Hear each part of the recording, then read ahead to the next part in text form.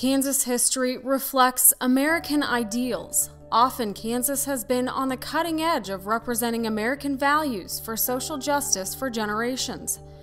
Unfortunately, our state has crept away from its core values of reflecting the belief that we must care for those who may not be able to care for themselves without a little help. Currently, Kansans with developmental disabilities are forced to wait 8, 9, and even upwards of 10 years for the very services that allow them to live within their home communities surrounded by their families and friends. These services oftentimes mean the difference between the ability to live an independent and productive life versus an unfulfilled life of struggle and despair. Unfortunately, America and Kansas have a long and cruel history of discrimination against people with disabilities. The atrocities and horrific conditions in large warehouses like Willowbrook remind us of the dark past where people with developmental disabilities went without services and were forced to wait. Nearly 50 years ago, in places like Willowbrook, people were treated like prisoners and forced to wait for services in horrific conditions. Today in Kansas, people with developmental disabilities still feel like prisoners. Prisoners in their own home or in the homes of their parents as they wait on mile long waiting lists for the same services that can make them productive members of our society and help them find a job. Edmund Burke famously said, Those who don't know history are destined to repeat it. Unfortunately, in Kansas, we are repeating history by forcing people to wait for life affirming services. The difference is where they are forced to wait. In 1995, the DD system in Kansas underwent reform that put our state in the forefront of service provision for persons with developmental disabilities nationally, making us the envy of DD professionals, advocates, and consumers. In the landmark Olmstead case, the Supreme Court determined that unnecessary institutionalization is discrimination. Olmstead requires that states provide services in the most inclusive setting most appropriate to an individual's needs and desire. In Kansas, this typically means services in the home or community based setting, not an institution. Um, in the last few years, uh, families have sons and daughters who are 18, 19, 25, 30, who are not getting the ability to live more independently in the community because that funding's not there. And um, it's almost disrespectful for them because they need certain supports to be able to be independent, and they should be able to have those supports and live like we do in the community. The DD waiting list has skyrocketed over the course of the past decade. The last time the DD waiting list was effectively zero was 1997, immediately following the closure of Winfield State Hospital. In 2004, the waiting list was 515. In 2010, the list was more than 3,000. Today, the number is over 5,000. The waiting list is growing at an alarming pace with no end in sight and no effectively working plan established to address this crisis situation. When you go and ask for this help and you're told about these long waiting lists, it feels a little bit like your house is on fire and you've called 911 and they say, sorry, there are 2,000 people in front of you. We're going to put you on hold. Best of luck. The DD waiting list has reached a crisis level. Waiting times can reach upwards of 10 years or more, with no effectively working plan to address this crisis. We have confirmed reports of Kansans waiting for more than 10 years. The 2012 Kansas legislature appropriated enough money to remove 100 people from the waiting list. But at least 500 people, five times that number, accessed the system in 2012. At the current rate, waiting times could soon be 20 years or more. Kansas must develop and implement an effectively working plan to remove individuals off the DD waiting list at a reasonable pace.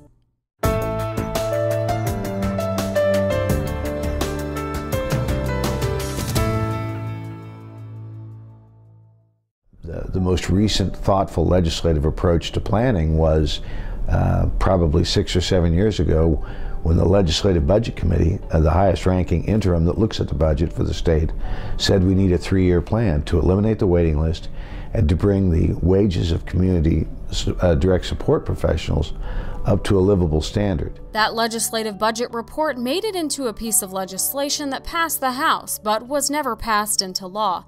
Since then, some limited funding has been added to the budget for the DD waiver, but it has not kept pace with the need. The list continues to grow, and that multi year plan that was a, a very well thought out approach to perhaps eliminating the waiting list for the first time since 1996 uh, was never pursued. And, uh, and that's what we need now. We need legislators to really take a fresh look at that concept and say, you know, we don't know if it's a, a three year plan at this point, we don't know if it's a four year plan, we don't know if it's a five year plan, but we need a plan. The DD waiting list is in crisis, but the problem isn't so big that we can't fix it. All we need to do is come up with a multi year plan that moves people off the waiting list and into services at a reasonable pace. And to do it in a way that we know we're several years down the road, we will eliminate the waiting list. It's going to take bold action, but it can be done incrementally over time. If we don't do it, we risk all kinds of things. We risk hurting Kansas families, continuing to depress the Kansas economy, and we risk the fact that Kansas will be in violation of different Supreme Court decisions like the Olmstead decision. Um, and it ensures that we can not only conform with the law, but more importantly, we can ensure that people have the services they need. If you say it must all be done this year, you're ignoring the sort of the practical realities of how what it takes to help build a, a plan of care for a person with complex needs.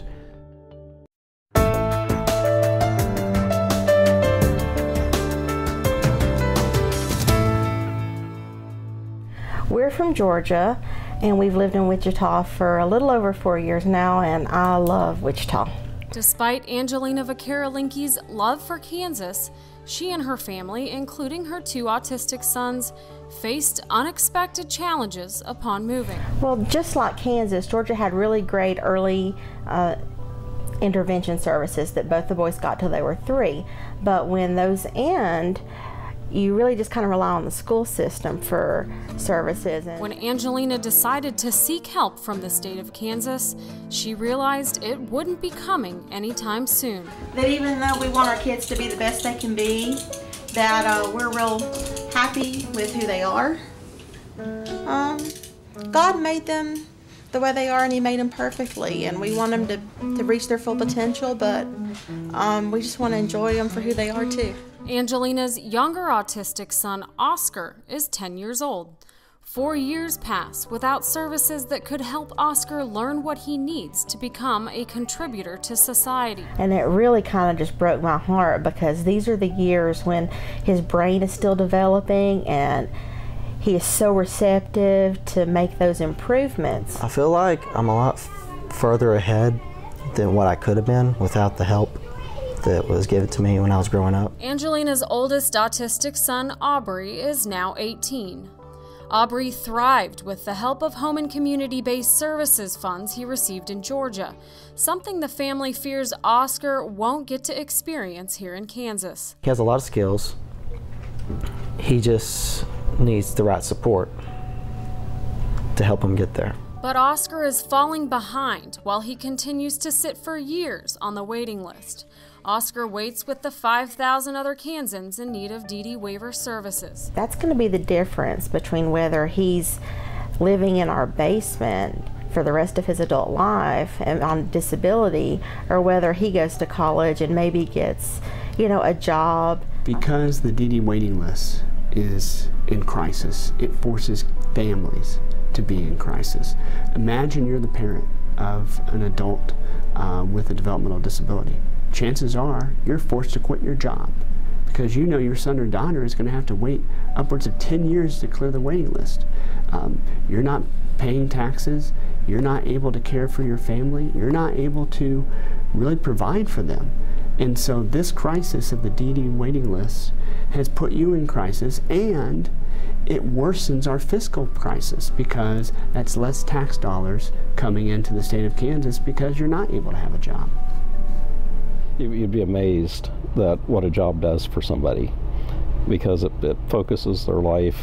Uh, it uh, gives them something to look forward to, gives them something to, it gives them purpose in life. And uh, the amount of money that we spend in this state for long-term care services versus employment. Um, you know, an, an example, our, our current system, every every taxpayer in the state pays $108 per person for the system that we currently have to provide long-term supports for people. Uh, of that 108, $1.50 is spent on employment. $1.50. It was rough because I actually stayed home for 10 years. I wasn't able to have a job. If DD waiver funding was available, more parents of children with disabilities could go to work full time, contributing millions of dollars to the Kansas economy. I know that waivers cost money, but um, the kind of waiver that we received for Aubrey probably didn't cost $10,000 a year. And because of those supports, I, I can't even calculate the money that that's going to be saved over his lifetime and over my working lifetime. And, and you know, whenever you really talk about waiting, that's what a lot of people with disabilities do. They're waiting on a list. Then they're waiting for a bus. Then they're waiting for a job. Then they're waiting for a life. And people shouldn't have to wait for a life. The problem is about to explode, and I don't think people realize that.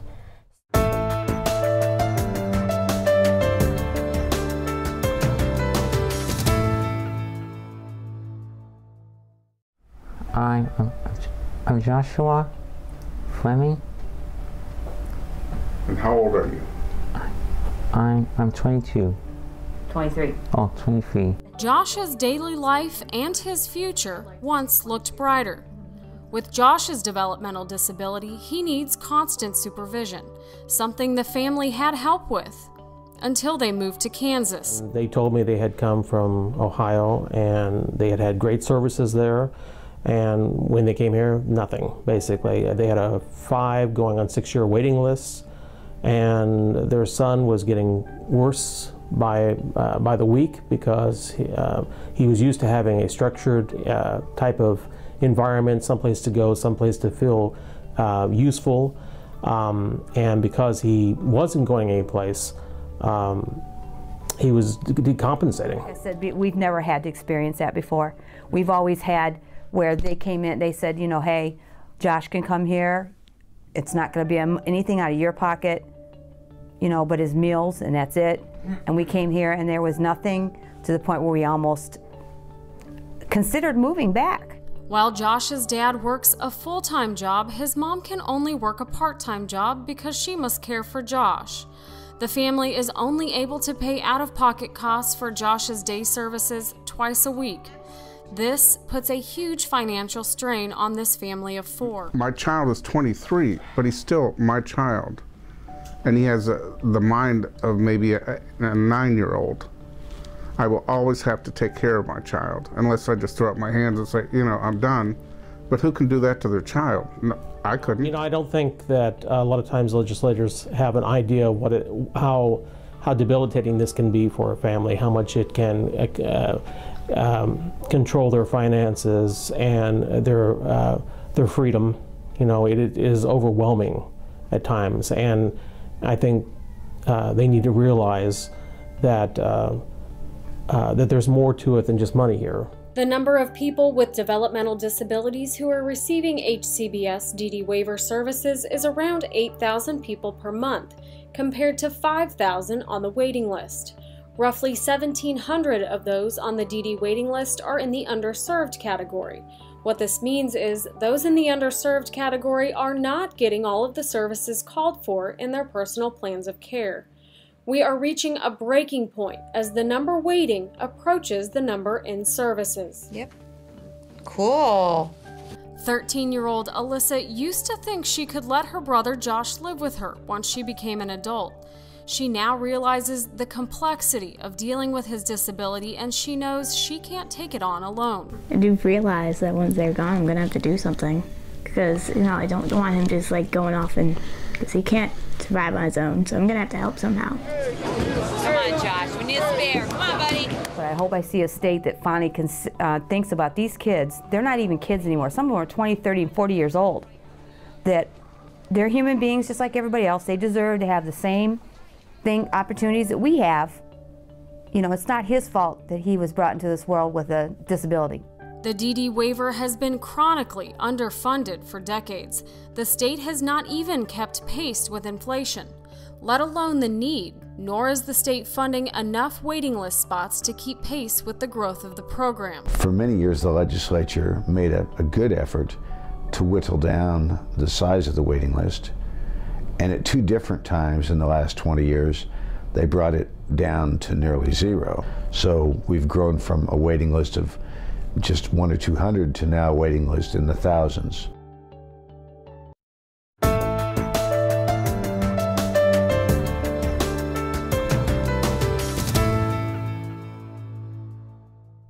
we started learning about certain services that you had to be on waiting lists for and you know it was all very overwhelming at that time because you you know you don't understand what's going on you don't know why your child is acting the way that they are it was right before she was diagnosed. We knew something was wrong, but we just didn't know what was wrong. Julie is thankful that they got a good case manager, one who does not work for a managed care organization, and they eventually got Megan on the waiver. A long time passed before Megan left the waiting list. When it did, Megan qualified for supportive home care and respite. Up to that point, the family was quickly running out of resources. However, even as Megan and her family received some services, they were still left to wait for all of the services that were needed, according to her personal plan of care. We pulled her out of school. Uh, and that kind of drained all of our retirement and everything, but we didn't know what else to do because she couldn't have been in a regular education school. Megan received services via the DD waiver until she was 15, when she had a feeding tube installed and transitioned to the technology assisted waiver. You never know what's going on in the house next door to you, and you don't see a lot of these kids out in public. And so, unless you are in a home or you're close to somebody that has a child, that needs these services, you just have absolutely no idea how important they are. I'm thankful for all the services that we get because most families don't get them. I mean, it's not much just help us we get, and it's hard. Megan's younger sister Mandy says when her family couldn't get services, she felt trapped. It's like you get home from something really fun and then something really serious is happening. Give me a smile. You think I'd be able to go like to your orchestra concert tomorrow if we didn't have services? No. Mm-mm. I probably wouldn't be able to go. Either I would be in uh, a mental institution probably if I didn't have services, or she would have to be institutionalized because I wouldn't be able to care for her. Sometimes that'll make you smile when you get kisses. Julie says she's done nothing but love her child like parents do.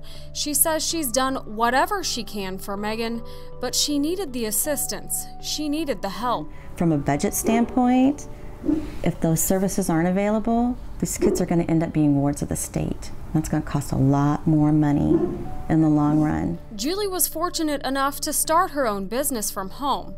She was somewhat successful amidst making sure Mandy was attended to around the clock. I'm still struggling really hard, and I would probably qualify for food stamps or some other type of welfare. I choose not to go that route, and um, because I know that there are other people that are out there that need it.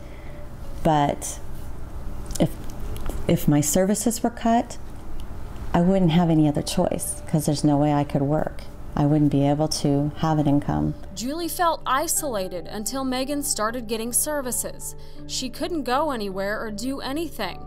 Funding allowed the family to have as normal of a life as possible. We've had her for almost seven years past what is considered old for that disease. And so I'm grateful for every day that I do have, but the toll that it takes on the families, it, it's emotionally, you know, one day we're doing well, the next day, you know, her oxygen level is low and we don't know what's wrong. We've talked about some things, some really tough things when hospice has been out. She'll get tears that run down her face. Megan began having complications, and her family didn't think she'd survive past Christmas of 2011, but she did. Less than a year later, she died at home in November of 2012. So the, the individual crisis is on us right now. The state crisis uh, is the crisis that comes when you don't take care of the basic needs of the state. If we were talking about bridges collapsing, the state would respond immediately. Uh, it's, it's hard to understand why they cannot see the devastation affecting these lives as of an equally great crisis. But I think the solution is much more than just uh, a few million more dollars for this service or that. I think we really need to look at a long-term plan of how do we address the needs of people and how do we address the needs of people efficiently and effectively.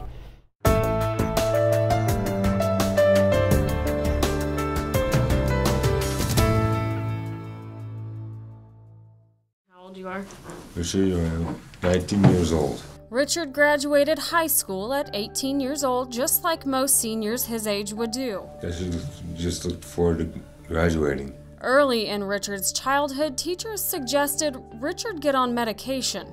It didn't seem like anyone could figure out the proper diagnosis. We started researching the internet ourselves, and we, we came up with a with the possibility of Asperger's. So we tried to get with the doctor, and she wouldn't even really help us at all to to get him tested. And it was by the time he was eight years old before we, you know, him and I started doing our own research. And it was when he was eight when we finally got a diagnosis. But out here in southwest Kansas, nobody had a clue as to what autism or Asperger's was. There was no assistance for the family until Richard started collecting Social Security when he turned 18. Once Richard graduated high school, the family visited a residential setting for a tour.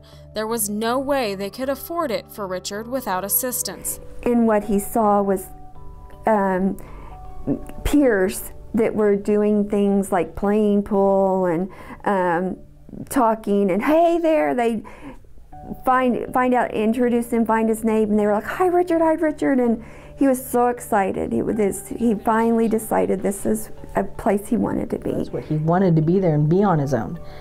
And then we got where he was out on the waiting list it's like oh well that's not happening anytime soon. You have no idea how many parents do not understand that you're going to be on a waiting list. You may have to quit. Your school the school stops you don't have any any place for your child to go for the morning so you can work you may lose your job because you don't have any place for your child to be. So they get by now with a small amount of waiver funding they finally began receiving after Richard turned 19. We had like $1,800 a month that we can use. These guys were more than happy to provide the day services that we needed. Um, then the problem was is dealing with him at nighttime because I can't, you know, at 19 I still can't leave him home alone. Richard used to be able to cook for himself, but since graduating high school, he has regressed. He's capable of having a job, but he needs funding for employment training assistance. But the process of filling out an application and doing an interview and um, going to getting up on time to get ready and go to work every day and being prepared without us step by step by step telling him what needs to be done the night before.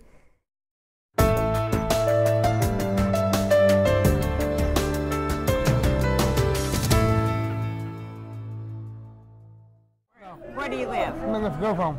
Live in a group home, okay. Yes. He got, Eric got um, funding, that there's money there, and if the money were appropriated, that we could do so many more things because there are people who are having to quit jobs because there's no longer funding. Waiting upwards of a decade for home and community based services has a permanent negative effect on the lives of individuals with developmental disabilities and their families and it creates a much larger financial burden on the state's taxpayers in the long term. To me, it's going to create a huge deficit in the state finances because the individuals are going to need so much more money by the time they finally get off the waiting list because their needs are going to be so much greater. That if we would address them now, not seven years from now, we would be in so much better shape. Supports for individuals with developmental disabilities need to be individualized to the person's unique needs. This is not adult babysitting. This is about person centered services to help the person with a disability be a full citizen in Kansas communities. Sue worries that when people with developmental disabilities are forced to wait for supports after graduating high school, all of the funding they received in the K 12 education system might be seen as wasted. They get out, and as everyone knows, if they're not, if the education doesn't continue, then um, the level of learning starts regressing.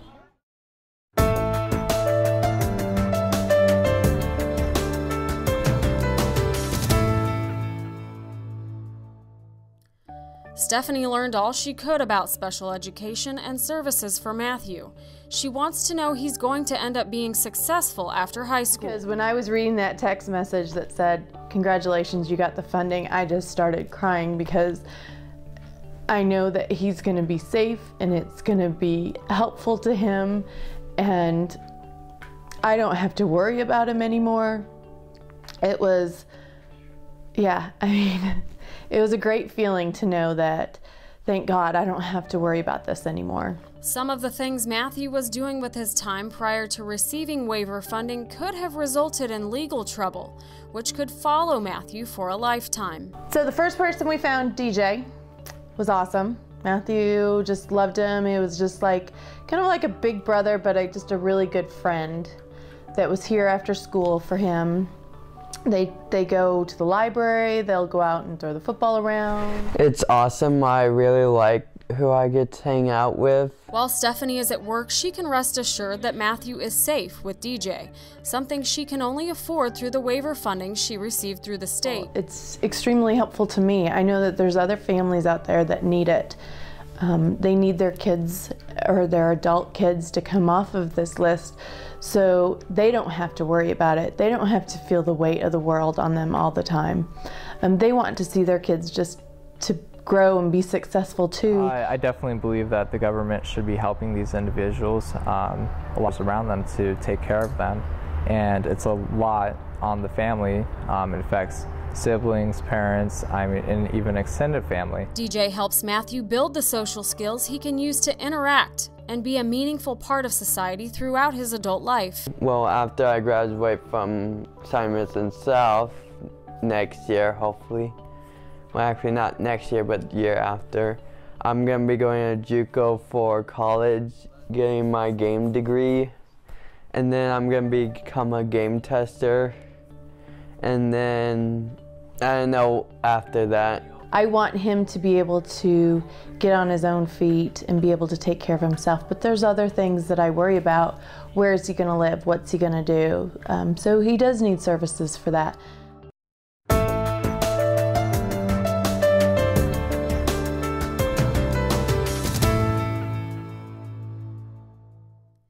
Wasn't until Morgan was in the sixth grade that Diana even became aware of funding available for her daughter. I truly take a calendar and look at when she's in school, when she's out of school, and really have to calculate the hours because it is such that we need absolutely every hour.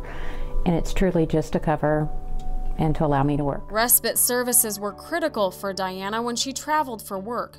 For many parents, they do not have access to effective respite services. With, you know, some one-on-one direction, she can make a contribution to society. As Morgan prepares to finish a post-graduation program through the Olathe School District, her mom Diana knows they're facing a big change.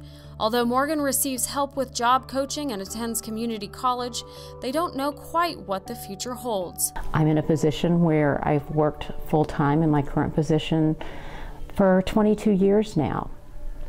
So, in many ways, it's not an option to quit my job. I'm a single mom. We depend on, on my income.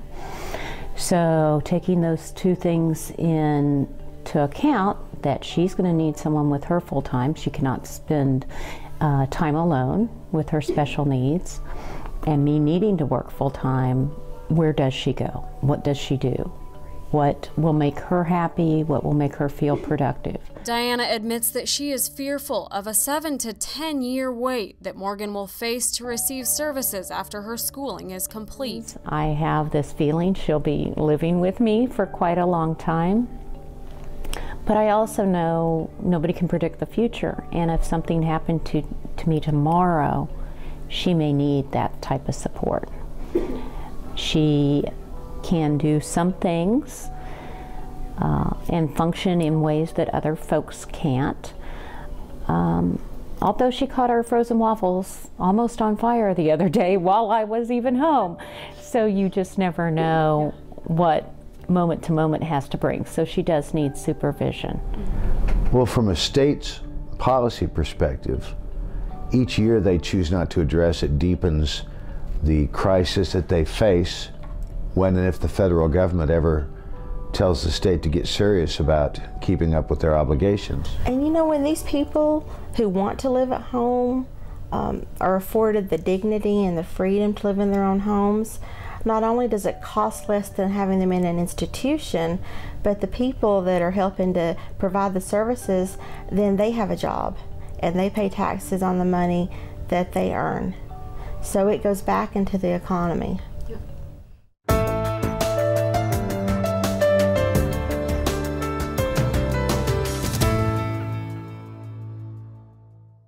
Well, my son Curtis was on the waiting list for 12 years. You're not allowed to put the kids on the waiting list until they're school age. So he wasn't put on the list till he was five. Rhonda Klein says she put her son Curtis on the waiting list and had a 10 minute visit once a year to reevaluate her son's needs. Nobody could really tell me where he was at on the list.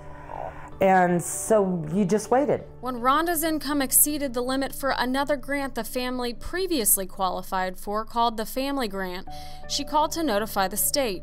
When she didn't hear from the state for a couple of years following that, she became suspicious. And I think what might have happened was at that time they dropped him off the list for services also. Then it was back to step one. So I went back in and had to redo all the original paperwork to put him back on the list, which of course he went all the way to the bottom again. Yes, that's me. Rhonda asked Curtis's case manager on a regular basis exactly where he was on the waiting list. She said, Well, let me fire off an email and find out. And uh, that was last summer, well, last May, right before he got out of school. And she said magically that he was going to start receiving services the next month. Although Curtis waited 12 years for services, Rhonda says waiting just one year is too long. There was nobody. I, I was told that actual to pay a respite care worker was $25 an hour. Now, I don't know how many people could afford that for, you know, an hour and a half, two hours a day but I know that $50 a day really wasn't in my single parent budget. What they could afford was $50 a week with a child care provider where, as a 17 year old, Curtis was in the same care as infants and toddlers, just so Rhonda could work. As a parent, you're trying to learn all these processes from all these different agencies, trying to navigate them, negotiate them, find out what your child needs, everything from Social Security to Medicaid to, you know, getting waiver services for a child. And it's extremely confusing. And it took me his whole life to figure out, so far, to figure out how to do some of these things.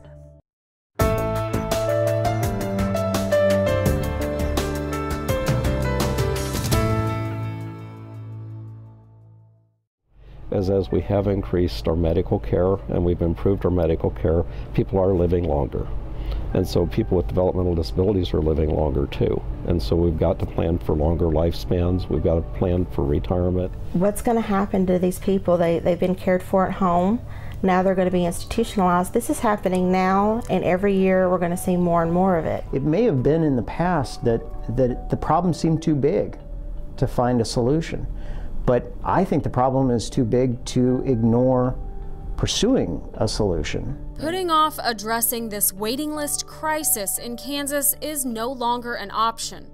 Kansas must move individuals off the waiting list at a reasonable pace with an effective multi year plan. If you agree that all Kansans deserve the right to hope, freedom, and opportunity, regardless of disability, then please join the thousands of Kansans in speaking with one bold voice to make this a reality for all in our great state of Kansas. ready? I have been waiting along with 5,000 other people like me in Kansas who have developmental disabilities to get help. It is heartbreaking to me. My friends and I need these services so that we can live a life that is hopeful and independent with opportunities, but we need these services now to help us get there and many many of us are on this long waiting list, waiting list for our chance to have a better life. Please don't turn us away. Let us have a chance to speak for who we are and what we need to help us live as adults. Don't shut the doors in our faces. Please help help us to be who we are meant to be. You can please join us to tell our government to fight for us. You can join the campaign by calling, by going to www.endthewait.kansas.org.